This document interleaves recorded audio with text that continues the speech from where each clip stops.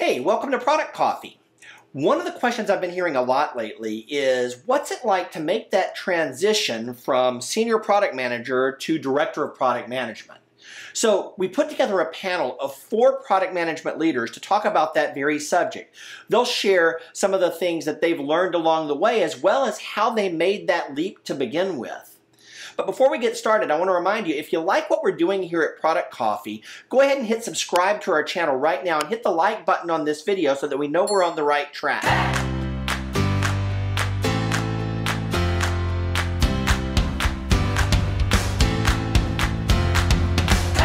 So to get started, I want to introduce you to Lisa Black, our moderator for the panel today, and she'll introduce you to the rest of the team. Lisa comes to us with a very extensive history in product management. She's been with Oracle, Kronos, and Deloitte to name just a few. She's managed products in human capital management, and experience analytics as well as customer experience software.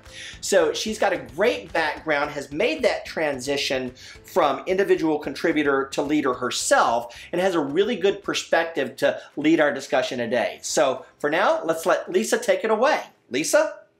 Thanks, Jason, for that great introduction. So we have four fantastic panelists today. It was uh, definitely interesting reading everybody's bios and seeing some overlap. So uh, we have Kelly Jones from what is now Ultimate Kronos Group. Uh, so when I worked at Kronos, they were not yet merged, but for those of you who follow the human capital management industry, Ultimate and Kronos recently merged, um, and Kelly is a senior director of product. We also have uh, Robert Elliott, who is now a senior director with uh, Globant, and I hope I pronounced that correctly.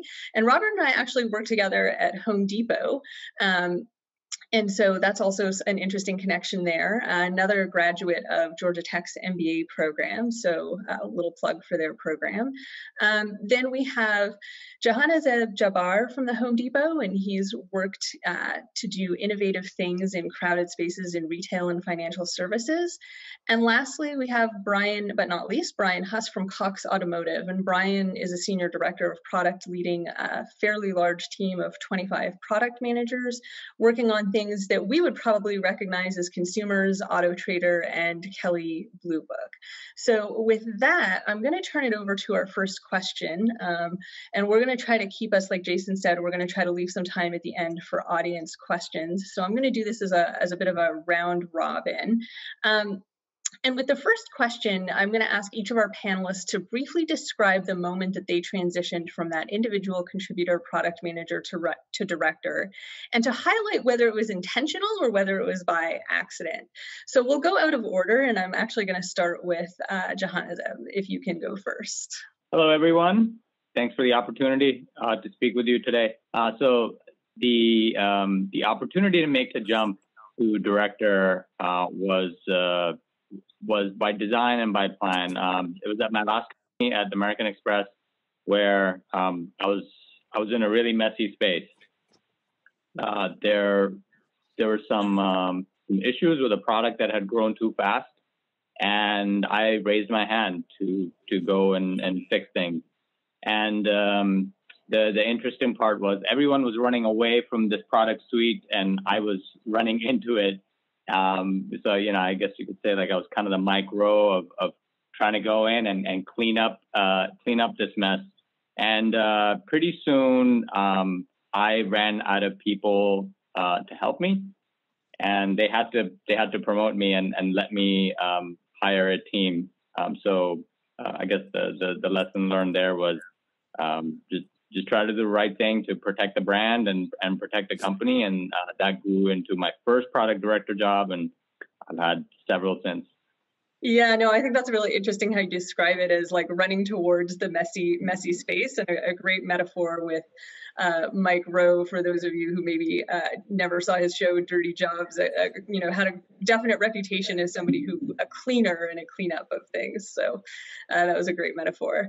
Um, I know that the responsibilities can differ vastly between organizations, even within the same company, uh, for what it means to be a director of product management. So, you know, if each of the panelists can speak a little bit to what do you consider the scope of responsibility to be for a product management director? How do you, when you hear product management director, and if you think of your role, how would you uh, explain that scope of responsibility to our audience? So for this one, let's start with Brian.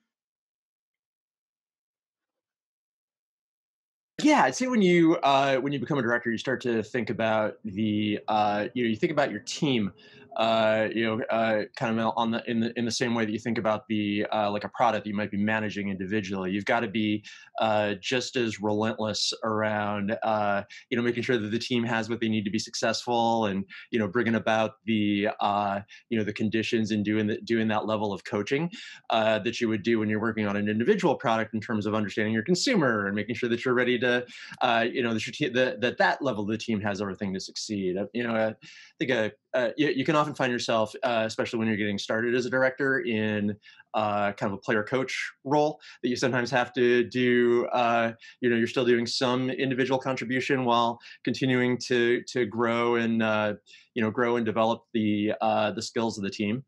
Um, I think a key thing to understand is to really focus on making sure that your team uh, that your team knows how to pri- uh, knows how to prioritize, and that uh, uh you know just and just that the, just that the relationship and the power dynamic has changed, especially if you're going from you know previously being someone's peer to being, being their manager.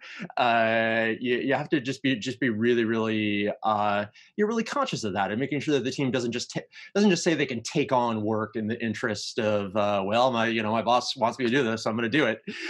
you've got to you've got to develop that level of trust. Uh, uh, you know on both sides of the relationship and understanding your uh, you know your team as uh, individuals. You're going to have some people who uh, they're going to thrive if you give them some strategic uh, guidance and guardrails and then you just let them go.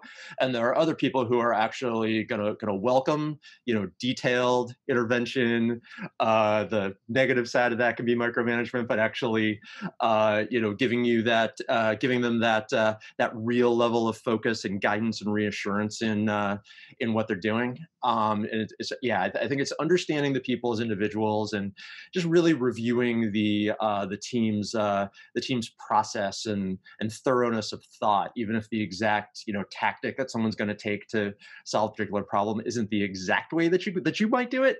That uh, just making sure they're thinking through it properly, I think, is a big part of the job. I hope you're enjoying this episode. If you'd like to see how all of our guests answered all of the questions, you can find that right here on our YouTube channel as well. Just look for the link right up here at the top of your screen. But if you want to have even more fun, you can join us live on our Zoom call every week. Just go to productcoffee.com slash newsletter and sign up for invitations to each of our weekly virtual coffee meetups. We'd love to have you join us and get to know you too. Um, so this one will will change gears a little bit. I, I, think you know certainly 2020 has been an interesting year. Uh, I have definitely done a lot of reflection. um, it was very interesting job searching um, during a pandemic. Um, it's certainly not something that I necessarily would have thought I would be doing dur- during a pandemic. Um, what was the most difficult aspect of the transition to director? I think we had some highlights of that, right? Going from that player to coach and sometimes still having to do both. But if, if each of you reflects back on that transition, um, and especially since some people made that transition a while ago and some people are newer to that transition, so maybe those, you know, you're still facing those difficulties and figuring them out what was the most difficult aspect and, and what did you learn from it? Or what was your takeaway as you reflect back on that transition? You know how did it change you as, as a person or as a leader? So for that one um, you know maybe let's start with robert since you're newer to that transition. And like you said you kind of started in this role right before the pandemic so you probably got thrown a lot of things that nobody could have could have predicted from a leader or a transition perspective.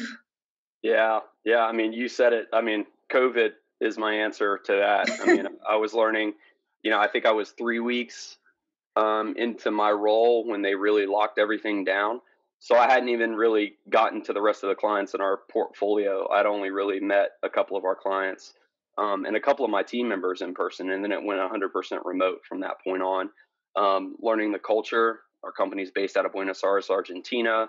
Um, I was supposed to have flown down there to meet other leaders and other team members, and I didn't get to do that.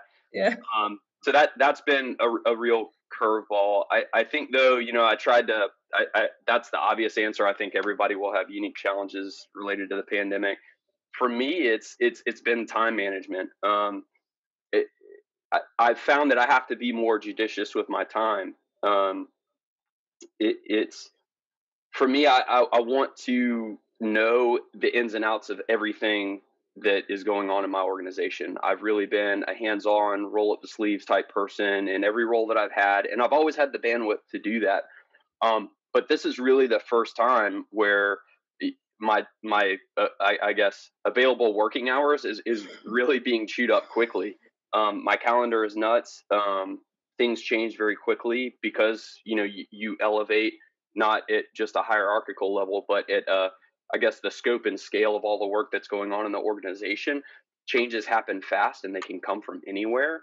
Um, and so I found that I have to be really judicious with my time. I have to think, should I attend this meeting? You know, do I have time to do that? Or can I just have somebody get, you know, catch up with me afterwards? Or can we have a phone call?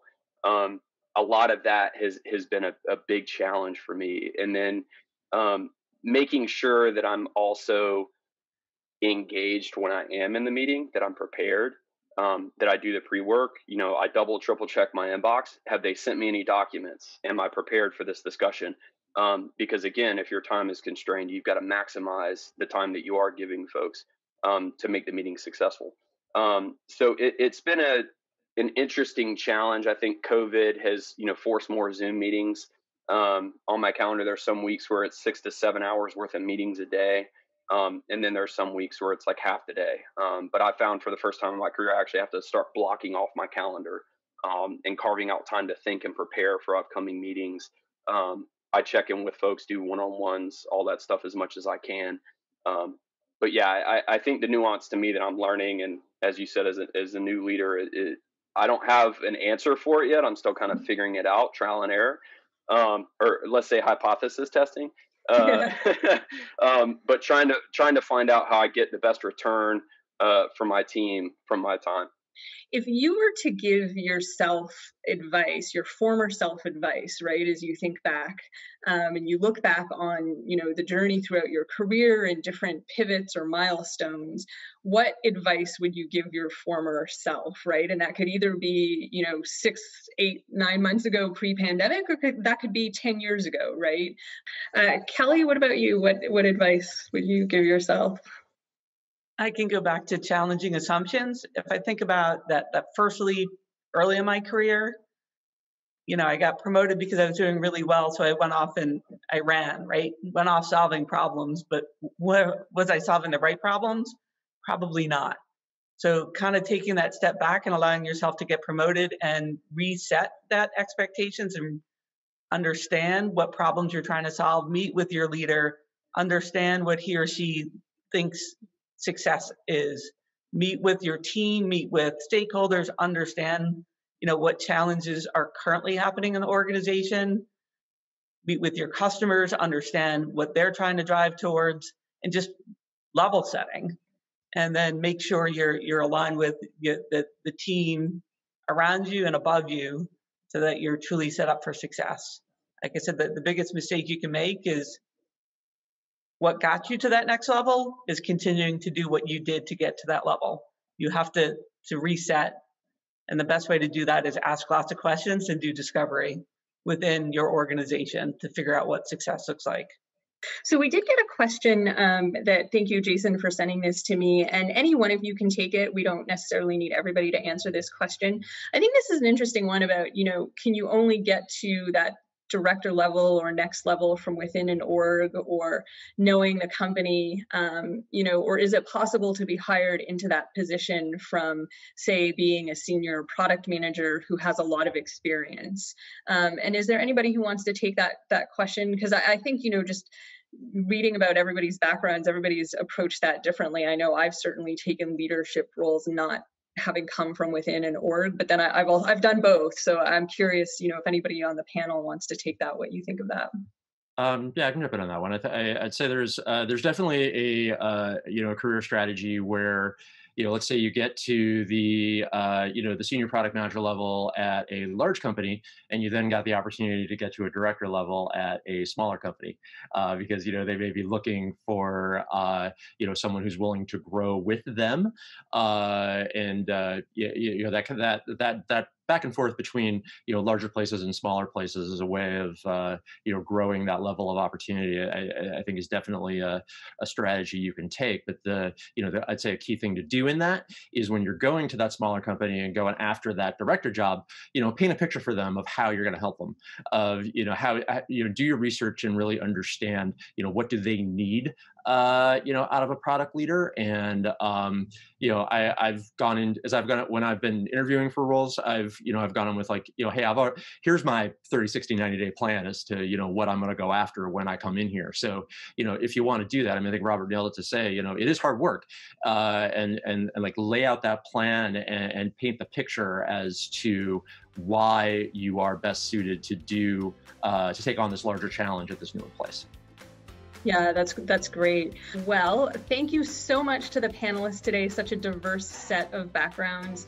I definitely learned a lot. A lot of also great reminders. Um, so it was really interesting hearing from everybody across so many different industries. To everyone that attended or is attending, please definitely keep the conversation going on LinkedIn. Uh, make sure you're a part of the group and interact with uh, the panelists, myself, Jason, other people in this product coffee group across LinkedIn. Um, uh, thank you, everybody. And uh, Jason, I'll turn it over back to you.